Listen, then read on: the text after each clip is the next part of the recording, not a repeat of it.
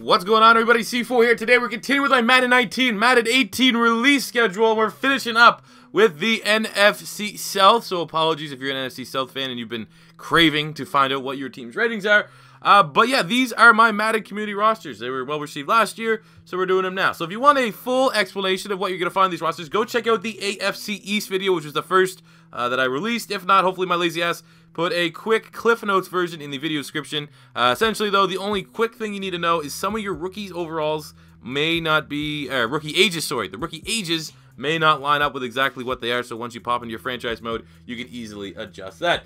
So today, starting in the South, we're to start with the Tampa Bay Buccaneers, where it's tough, man. They're one of the tougher teams to grade because they are a great team on paper and definitely under-succeeded with 5 and 11. Uh, so we gave Jameis Winston an 80 overall last season, 3 and 10 as a starter. 3,500 yards, 19 TDs to 11 interceptions. Very much like Marcus Mariota. These are two guys that, like, you see the potential. You see the flashes of, like, this guy here is going to be, you know, a franchise quarterback. And then you also see, like, well, how come he hasn't developed? You still, you know, you still see the issues that they struggled with in college. And that's still the issue with Jameis Winston. Uh, I don't know if Dirk Koetter is the guy long-term there. Uh, but, I mean, he still is a solid quarterback, and ultimately he's going to be 24 years old going into next season. That's still plenty of time for him to develop uh, into what he could be. At the running back spot, we have Rojo, Ronald Jones the second, selected at USC. We gave him a 76 overall. He is going to be the the uh, starter there for all you fantasy football fans out there. He's a guy that I certainly look at targeting. Uh, they get Jacquizz Rodgers, Peyton Barber there as well at the running back core, but let's be honest, Ronald Jones is going to be the feature back there. Uh, we have fullbacks. At the wide receiver spot, we gave Mike Evans an 88 overall. Uh, he's one of my favorite wide receivers in the NFL last season with inconsistent quarterback play, to say the least. Which was 71 catches, 1,000 yards, and 5 TDs. So this is more so uh, a regression. I think I had him as a 90, 91 last season, so now falling out down to an 88. That's where he'll start out at. Uh, we get DeSean Jackson an 83 overall last year. DeSean Jackson, 50 catches, 700 yards, 3 TDs. Uh, still is one of the better deep threats, but again, you know, everyone on that Bucks offense was kind of underperformed last season. Uh, Humphries with a 78. Godwin, the rookie, going into a sophomore season with a 77. Tight ends, Cam Brate is getting an 82 overall last season. Cam Brate finished with 600 yards and 6 TDs, whereas rookie O.J. Howard, we're giving him a 78 overall. He finished with 400 yards, 6 TDs. So this is a really good two-headed tight end set that they can run two good weapons. Uh, and I believe they recently just re-signed Brate, so it looks like they're they're confident going with these two guys in the future. Offensive line, Donovan Smith, 72, one of the worst starting tackles in the league. Ali Marpet, left guard, 80. They got Ryan Jensen. They paid big-time money from the Baltimore Ravens. He's a 78. Uh, Evan Smith, Sweezy, 73. Uh, Demar Dotson, 85. Overall, still not the strongest of offensive lines. On the defense side, they got JPP in a trade. Uh, that's a nice get, man. He's still a guy that even though he, you know, he only has like three fingers on one hand, he can still get lots of pressure after the quarterback. Uh, he's an 82. You still got Noah Spence, who has some upside. Uh, defense, yeah, Vinny Curry coming by Philadelphia Eagles. I'll tell you guys right now, grades out well for Pro Football Focus. Really good against the run. Frustrating against the pass. He's one of those guys that when he gets the quarterback out in open space, he turns to Bambi on ice. No matter what he does, he just doesn't come down with the sack for whatever reason, but he still is a really, really solid edge rusher. Um, Unrein here coming over from the Bears. He's solid. D tackle, Jerry McCoy, 92 overall. Uh, Jerry McCoy's real nice. He's been probably the face of the defense for a little bit. He made the Pro Bowl last year, six sacks. Uh, led the team in sacks. Uh, just shy of 50 total tackles. Again, Vita Vea in the first round. He's a 78. I probably would. He could low key get that superstar dev trait. He's real nice. Uh, you got Beau Allen coming from the Eagles. I can tell you right now, really solid against the run. Doesn't offer much outside of that, but good against the run. Uh, you got Kendell Beckwith starting at outside linebacker. He's a 73. Decent season as a rookie. I think he had 60 solo tackles. Um, you know, yeah, he's, he's a work in progress. Middle linebacker Kwon Alexander gave him an 84 overall. Made the Pro Bowl last year. Had three picks had four pass deflections, uh, just shy of 100 total tackles. He's the guy that constantly gets like, like I think his base when I started these rosters was like a 76 or 77. I don't know why Madden every year constantly underrates him. Uh, for my money, he's one of the better inside linebackers in football. And then you have Lavonte David, 94 overall. I think he's either the highest or the second highest right outside linebacker uh, in my save. Uh, last season, Lavonte David didn't get any recognition whatsoever, but grayed out insanely well from Pro Football Focus. Had five forced fumbles, over 100 total tackles, and really was. I, I probably kept them in a lot more games than they should have been able to be either competitive in or won. Uh, the secondary is old. Looking at Brent Grimes because he's pretty much the most talented guy in the secondary, and he's going to be 35, but he still had three picks last year, 11 pass deflections. Uh, you have Hargreaves, who hopefully, uh, you know, Gator Bias can turn it around. MJ Stewart, they selected him. Carlton Davis, they selected him 73 and 72 respectively. Uh, free safety, they got Chris Conte, 75. They got Justin Evans. Maybe can take a big leap here next season. Uh, might be the starter. Uh, strong safety, Godwin Igwebuike, who they got as an undrafted free agent. I rated him higher than most, and that's why I have him currently starting here for them. He's a really solid player, tested incredibly well at the combine, a lot better than a lot of people expected. Kicker is Catanzaro, 76, and Bryan Anger, the punter, 81. So those are the Bucks. If you agree or disagree with any of the ratings you saw, let me know. Next up is the Atlanta Falcons, where we gave Matt Ryan a 90 overall. Um, last year definitely didn't live up to MVP billing, but we're not going to nuke his rating. I think I gave him a 94 last year after he won the MVP, so a four-point downgrade. Uh, finished with 4,100 yards, 20 TDs to 12 interceptions. You know, wasn't anything special. Pretty much was the Matt Ryan we kind of expected. Close, like that's it's the uh, the Shanahan effect, or maybe it was just an outlier year. He's slightly better than the stats I think he put up last year, but not too too much. He's always going to be a guy that's that's probably hovering around 30 touchdowns uh, and double-digit interceptions. But I think a 90 is a fair starting point here for Matt Ryan. Devonta Freeman, we gave him an 89 overall last year, had just shy of 1,200 yards from scrimmage and eight total touchdowns. Uh, he's a beast, man. He's really, really good for a guy that's that small, runs incredibly powerful. They got Tevin Coleman, probably the last year he's going to be on the roster. He had 900 yards from scrimmage and 8 TDs as well. Pro I don't think there's a better two-headed running back attack uh, in football. Maybe you can look at Mark Ingram, Alvin Kamara. I think Mark Ingram actually today tested positive for some illegal substances. But uh, these guys here, like those are the two premier running back tandems you'd have to say, unless I'm drastically missing someone, which I don't think I am uh, in the league right now. And they just happen to be the same division. We have Derrick Coleman, who was terrible against the Eagles in the playoffs. Uh, wide receiver, we give Julio Jones a 97. I don't think this is too controversial, but maybe there's some people out there that definitely think he gets a 99. Uh, 88 catches, 1,400 yards last year, but only three touchdowns. Everyone knows Julio doesn't score touchdowns. It's about time someone holds him accountable for that. He has got to be the only 6'3", 220-pound wide receiver that either gets no looks in the red zone, can't finish it in the red zone. I don't know what it is. He's still absolutely unstoppable most weeks, so we're still giving him a 97. Uh, but there might be some, I might catch some flack for that one. Uh, Sanu's getting an 81. He finished last year with 700 yards, 5 TDs, solid slot guy. Calvin Ridley was their first round pick out of Alabama. I love that move. He's a 78. I think you now you can go Ridley and Jones on the outside with Sanu and Justin Hardy trying to get snaps in the slot. Uh, it really, you know, kind of completes the offense. And I think it's, uh, I think long term Calvin Ridley is an upgrade over Taylor Gabriel. You got Hardy and a couple other dudes there. Tight end Austin Hooper is getting an 82 overall. Last season, Hooper finished with 500 yards, 3 TDs on 50 catches. So that's, you know, that's about a low 80s, I feel like. Uh, left tackle Jake Matthews, again, most of these grades are pretty much in line with Pro Football Focus. So he got an 80, Levitre with an 81, center Alex Mack with a 90. I think he's the third or fourth highest center in my rosters. Uh, Fusco coming over from, I think, I want to say the 49ers. It might have been the Vikings, one of the two. Uh, he's just he's just solid. Uh, they get Ryan Schraeder here with an 81. Look at the defensive side. We gave Vic Beasley an 83 overall. Now, this is something like Vic Beasley. How do they use him? I don't watch enough of the Falcons, but he's clearly an end, right? He's not an outside linebacker. But is he a linebacker? Does he does he play both? I don't know. But he finished with five sacks last year. Uh, definitely a down year, but you know, understanding that he was like the sack leader a year before, kind of downgrades him down to an 83. Uh, you have Takk McKinley here, who got six sacks last year, was second on the team as a rotational guy. So I assume you'd go Vic Beasley on one side, Takk on the other. Even though we have Brooks Reed here, I, I feel like that's probably how you line up. I don't know, especially with Adrian Clayborn gone. Uh, spot open up at DN. So maybe that's why if he was playing linebacker Vic Beasley, now with no Clayborn, maybe you have him go there. Don't know. Falcon fans, let me know. Uh, D tackle Grady Jarrett gets an 86 overall. This guy is incredibly solid as a D tackle. Four sacks last year, 50 some tackles. I feel like 86 is fair. Higher than a lot. If you don't really pay attention to football, you probably don't know who he is, but he went off in the Super Bowl and was really, really solid all last season.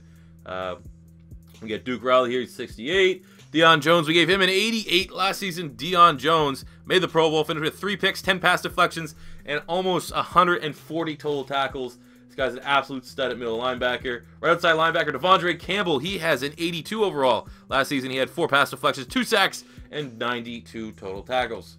Looking at the secondary, Des Trufant is getting an 88. Pretty underrated corner. Uh, last season was second on the team in interceptions with two picks, had 12 pass deflections, and just shy of 40 total tackles. So I, I think like 88's a good spot. I, I think 86 would have been too low. 87, I might feel a little better him at 87 than 88. Uh, but I remember last year when I did the Falcons roster, this was the saltiest reception I got of anyone. All the Falcon fans hated the ratings, said everyone should have got a 99. Uh, so yeah, we, I figured let's just give them something here with Trufant with an 88. Uh, we give Alford an 81, Brian Poole 78, Isaiah Oliver, second round pick, excellent value. He will start out as a 75. Uh, free safety Ricardo Allen is getting an 80. Strong safety Keanu Neal is getting an 87. Keanu Neal made the Pro Bowl last year. One interception, six pass deflections, three forced fumbles, over 100 total tackles. He's, you know, if Kam Chancellor does decide to retire, here is his regen. Here's the guy that's taking over that enforcer role around the league, the reputation of being the big time hitter. Uh, Matt Bryant's getting 84. Matt Bosher, 82. Good special teams for the Falcons. With the Carolina Panthers, we gave Cam Newton 85 overall. Last season, Cam Newton a little bit better than the year before. 11 and 5 as a starter, 3,300 yards, 22 TDs, 16 picks. I think he also had 700 yards on the ground and six rushing touchdowns. So, you know, almost 30 total touchdowns on the year, 4,000 total yards.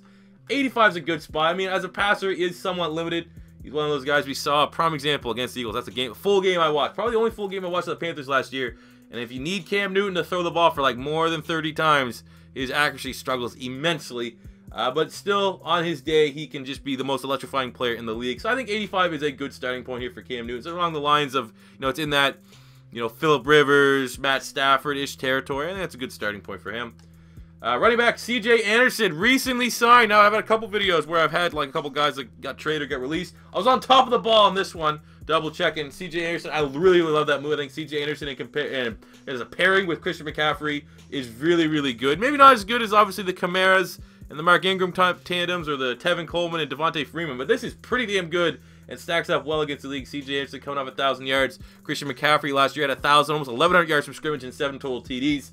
So that's a really nice backfield now there with Cam Newton as well.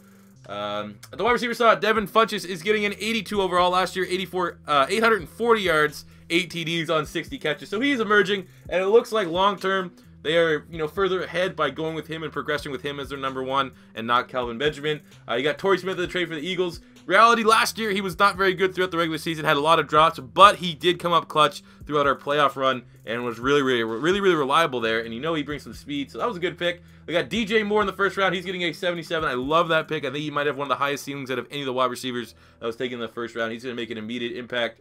You got right here, you got Curtis Samuel. You got a couple other guys, but still, I mean, not the most refined wide receiver core, but there is a lot more upside this year than there was, say, last season. Greg Olsen at tight end, he's getting a 90 overall. G-Reg with that third leg, he's awesome as long as he stays healthy. Struggled to stay healthy last year, only seven games, uh, 200 yards and a TD, but when he is healthy, he is a legitimate top five tight end. Uh, they also drafted, I wanted to put him in, but I didn't have enough roster spots. Um, Ian Thomas from Indiana, he's a nice little pickup there at tight end. Offensive line, you got Matt Kalil, 72. Taylor Moton taking over for Norwell, 70. Uh, Ryan Kalil, 76. Trai Turner's 80. And you got Daryl Williams, 85. So the right-hand side of this line is pretty good. But anytime you lose Andrew Norwell, debatably, you know, one of the top five guards in football, uh, and you don't immediately replace him, it's going to sting. But I think Moton will be serviceable and does have a lot of upside there. Uh, checking on the defensive side, Julius Peppers is getting an 86 overall. The ageless wonder himself was tied for first on the team in sacks last year with 11. Uh, awesome, man. One of my favorite players of all time. Even though I'm not a Panthers fan, when I was in my video game history, Julius Peppers on the Panthers defense, especially back in 2K5, is is probably the most overpowered thing I've seen since I've been playing uh, football video games. And I love that he's still doing well. Right defensive end, Mario Addison got 11 sacks last year as well. Uh, maybe there's a little bit of bias in the discrepancy there, but I, I know it could be 84, could be 85. 11 sacks is pretty productive, but I feel like the fact that Addison started every game versus Julius Peppers getting those numbers while he was pretty much rotational. I'm giving it to Peppers. The edge in overall. Uh, Kawann Short's getting a 90 overall. Really nice D tackle. Seven and a half sacks last year. Two forced fumbles. Uh, just shy of 50 total tackles, so definitely warrants that 90. Dontari Poe coming over as a free agent from the Falcons. Was really solid for the Falcons last year, so that's a nice little tandem. I guess they're giving up on Vernon Butler already uh, by giving that much money to Poe. Uh, Shaq Thompson's getting an 82 overall. Last season, Shaq Thompson had uh, 14 starts, 2 sacks, 57 tackles. So he's still a work in progress. You got to remember, converted safety, play a lot of offense at Washington. So he's still really uh, getting everything down packed for the linebacking role. And you see flashes of a super athletic uh, ball hawk. Luke Kuechly's getting a 97 overall, which is tied for first with Bobby Wagner. Uh, this is just because, you know, he has struggled to stay on the field, it feels like. Uh, played 15 starts last year, but it seemed like, you know, a couple games, concussions, and he wasn't 100% in all the games. But at full strength, he is the best linebacker in football. Three interceptions last year, four pass deflections, a sack and a half, 120 some tackles. First team All Pro. He's absolute money, man. Uh, so, yeah, we're giving him a 97. Uh, Thomas Davis is getting 85, even though it looks like he tested. He popped for some bad, bad stuff. Still made the Pro Bowl last year, two and a half sacks, uh, just shy of 80 total tackles. Uh, so that's 85. Secondary is definitely a work in progress. You got Bradberry here, 77. I think last year he had two interceptions, 10 pass deflections, was second on the team in tackles, but he's just solid. You got Ross Cockrell coming over from the Giants. Donte Jackson, speedster out of LSU was a nice pickup, but still definitely uh, a lot of questions over the secondary heading into next season. Free safety, ugh, Colin Jones.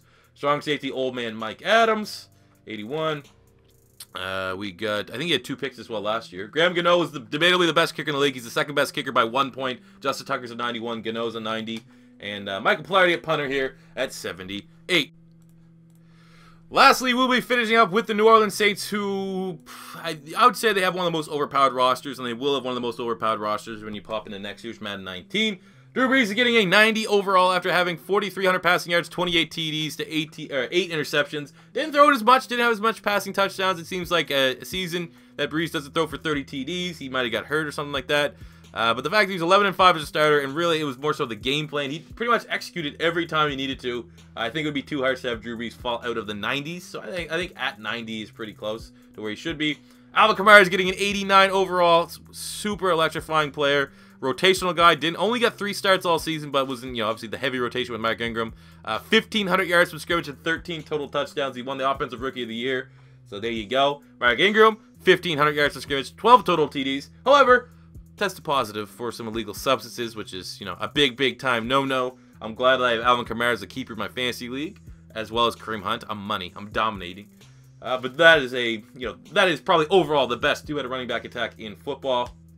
You have Zach Line here, fullbacks an 80. Wide receiver, get Michael Thomas, a 90 overall. He's like that guy who's right on the cusp of being the next big superstar wide receiver, I think. And the fact that he's 24, uh, got, you know, the whole world ahead of him. Last year, 104 catches, 1,200 yards, 5 TDs, 90 all damn day.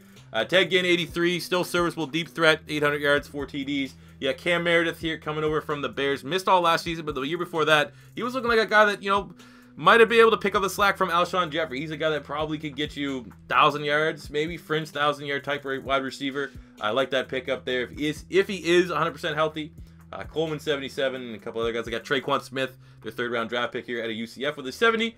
The tight end spot we have Coby Fleener actually got released today. So Ben Watson, they're going with old, the old stack here. Ben Watson's getting 81. I think last season he was with the Ravens. I don't know his stats, but you know he still is really solid. Josh Hill's pretty solid as well. Offensive line, Terron Armstead's getting an 86. Andrus Peat 73. Max Unger, 81. Larry Warford, 80. And Ryan Ramczyk going into a sophomore season, starting out with an 84 overall. On the defense side, we give Cam Jordan a 94 overall. I think he is our second best defensive end, second or third best right defensive end. Last season was first team All Pro, had an interception, two forced fumbles, 13 sacks. He's an animal, absolute animal. Uh, Alex Okafor here is getting an 82. They got Davenport, which I still can't believe they gave two first round picks to get him. He's a 75 overall, though. Probably will get a quick dev trait. Uh, so, you know, they has that going for him. Uh, D tackle Sheldon Rankins, 81 overall. You got on Onyemata, Canadian, 79. Davison, 75. Good youth there. Everyone's under 25 or will be 25 or under. So there's a lot of a lot of room to develop, develop and grow these guys. Outside linebacker AJ Klein's getting a 72 overall. Last season had just shot or just over 50 total tackles and two sacks. Uh, we have Demario Davis coming over as a free agent from the Jets. That was an excellent pickup. Graded out very well for Pro Football Focus. Had a bunch of stats. Uh, right outside linebacker, you have Alex Anzalone from my Florida Gators. I think Anzalone last year uh, only started in four games, had 20 tackles and a sack, but definitely has some upside if he can stay healthy. In the secondary, Marshon Lattimore is getting an 89 overall, pretty much equal to his counterpart, Alvin Kamara, Offensive and Defensive Rookie of the Year. Last season, Marshon Lattimore took the league by storm.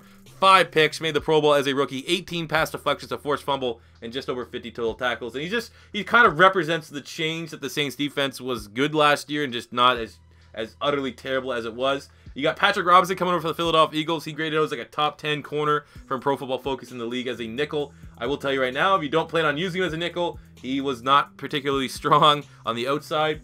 Uh, you got Ken Crawley here, 83 overall. Last season, Ken Crawley had interceptions, 17 pass deflections, so a whole lot there. I think PJ Williams had two picks as well. So the secondary is looking pretty good. You got Marcus Williams, who I guess, you know, thinking about that playoff game against the Vikings aside, he's getting an 80 overall. Last season, he had four picks, seven pass deflections, and I think uh, just over 70 total tackles. So maybe 80 could be a little bit higher.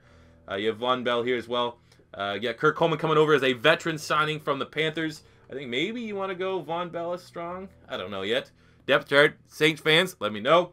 Kicker, Wil Lutz, one of the better kickers in the league, 84, and Thomas Morstead, one of the better punters in the league, with an 83. So there you go. Those are the Saints, and overall, that is the NFC South ratings. If you agree or disagree with any of the ratings you saw today, let me know in the comment section below. As always, if your first time stopping by, don't be afraid to hit that subscribe button. This is the final video of me, you know, kind of making sure we're getting the ratings right. So expect sometime early next week the the video and the link and all that stuff will be popping up for you guys to go download the first version of our community rosters which again if madden 19 is utterly terrible which it looks like it could be I'll be updating these Madden 18 rosters because even though clearly I'll have to play Madden 19 on YouTube, I probably will, you know, still help out the Madden 18 community. Thank you guys for watching, and I'll catch you on the next one. Peace out.